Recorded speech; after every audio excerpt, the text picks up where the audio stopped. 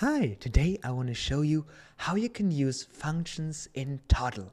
And functions are very cool because they allow you to do real-time calculations on the canvas of everything happening on the front end. So let's build a little thing. Let's actually do something very cool. Let's add like a div block that will be like our center. And let's add an input. And let's add like a heading right? In here, let's go to the div and let's make sure it's all white from the text so we can actually see it. Uh, let's make this white. Here we go. I have that H2. I want to make sure that that H2 is white as well. And here we go. And oops, for some reason that H2 is hidden. Oops, what's going on here? let's make sure this is outside. Here we go. So we got that in here. And what we want to do, I want to be able to type something in here, and I want, for example, let's actually zoom in a little bit. I want to type something in here, right? I want to type boom, and the count of the items, the count of the characters in here should be represented in here. Now, the way we, we are approaching those things in Toddle, if we, for example, say we have an input or we have a value and I want to modify it to kind of like get the count of it to then display a number in here, we can use functions for that. So first of all, since we have an input, there we can't access that input right now, right? Like if I input something that is invisible to us. So I need to click outside of the canvas on the page and I just uh, create a new variable here called uh, input, for example, called input. Here we go. We have input, boom, it's empty. And now I go on that input field and I bind it to the input variable. So now when I input no code procode.com, here you go. It's going to, my variable is going to say no code procode.com. That is very cool. But now, how many characters does nocodeprocode.com have? I don't know. So what I can do is I can go in this heading, double click, and in the text field, I just delete this and go on fx. Those are the custom functions. So now we just want to delete those here, right? I go on plus, I click again, and I go to my input variable. That's our starting point. And now I have that variable. And now if I click on plus again, I can filter that variable, right? And we have all those different filters here that are no code. But we want to look for the size filter, right?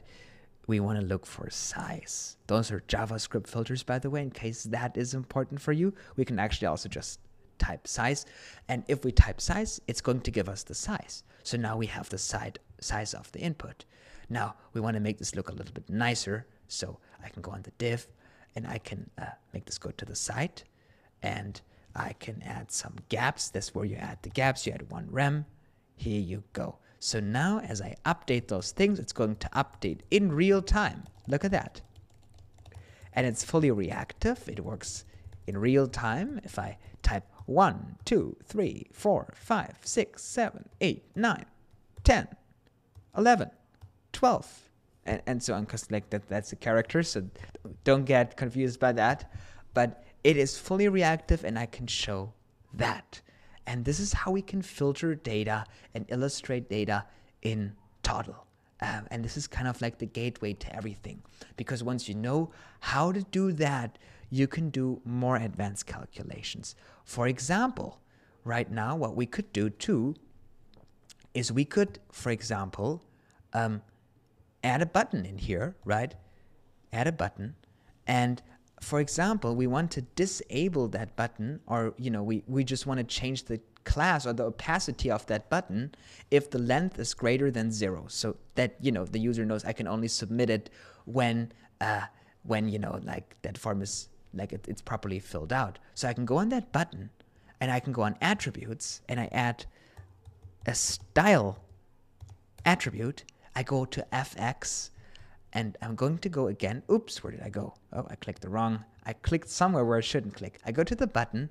I go to the attribute. The attributes are like, you know, the style attributes here that will influence the style. I'm going to make if. I want to add an if statement in here. And I can now go on the plus and base this on the input. right? Now the input is empty. So I can go to size. Now I have the size is zero. And I want to turn this now into a true or false because right now it just says zero. So I'm going to do greater than because we have this is, is this an empty string. The size of that, because it's empty, is zero. And then I do is it greater than zero? It's false. It's not greater than zero, right? And if it's not greater than zero, if this is false, we want to go with the else, right? Because this will be, if it's true, it will do this. If it's false, it will do this. If else, I want to do opa opacity colon 0.5. And now it's going to be like, it looks like it's disabled. I copy that same thing. So boom. I copy that above here and then I make it one. So now when I go in here and I start typing, it's going to be shown, it's going to be highlighted if I type, and if I remove any input, it's going to be disabled. It looks like it's disabled. You can then also conditionally add like a disabled attribute or use the same logic to prevent the form from submitting in the actions. But this is how you can do that. And if you want this now to fade in, you just simply go to trans, oh, not to transform, boom, no. We, you go to transition and you just simply go and do property all and we can do like 300 and we can do ease in out so now as you can see when I start typing, it's it's fading. Be- look look at that. Look at that. Look at that. How beautiful this looks.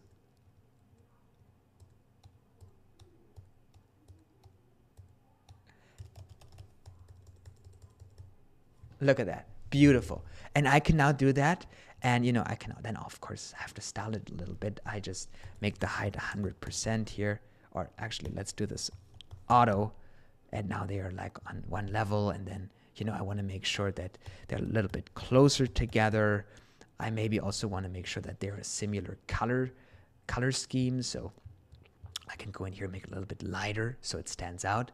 You know i can uh, i can make the text like a little bit smaller i can make like 14 right and i can then uh, you know keep it like that that looks better and I can like input the remove the placeholder. I can go on placeholder and just make it empty so there's no placeholder. And now on the live side it looks beautiful. Look at that. And it starts fading in as I have an input greater than zero, it can be greater than five, it can be greater than anything. But this is really not just showing us how to do specifically this. This is a great example to show how to do anything where you have to look if a data set is any specific type in Toddle to do something. It also shows you how to add nice UI animations in there to make the experience a little bit smoother. And you can use those things with those functions on the front end to kind of like guard the user from doing things it's not he's not or she's not supposed to do. And then you process the big parts on the back end because that's just where the back end is the best at. So thank you so much for watching. I really appreciate that. And if you want to learn more about Toddle and you want more resources, more courses, more videos that go in depth and daily office hours, five days a week, I would highly, um, you know, I would highly recommend you to look into nocodeprocode.com. Uh, the link is right here. it's nocodeprocode.com, and this is my membership um, I would love to see you join. I would love to see you in our daily office hours. And this is really to help you, uh, you know, overcome roadblocks way faster. And uh, I made my best to make the price as affordable as I could. And we have daily office hours and beautiful templates coming all the time, and you get all the resources, um, you know, to overcome roadblocks faster and to get your product, your project out there faster in Toddle. So I would love uh, if you join, but I also love if you continue just watching the YouTube videos. Uh, feel free to do what works best for you. And regardless of that, I'm just thankful that you watch that videos, that you spent your time watching me showcase those things, showcase these tools, um, tell you how to do those things and how to make them look nice and have beautiful fade in animations like this just thank you so much for watching. I really appreciate that. I really appreciate all of you. Um, and yeah, thank you for everything. And I wish you a wonderful rest of your day and see you tomorrow.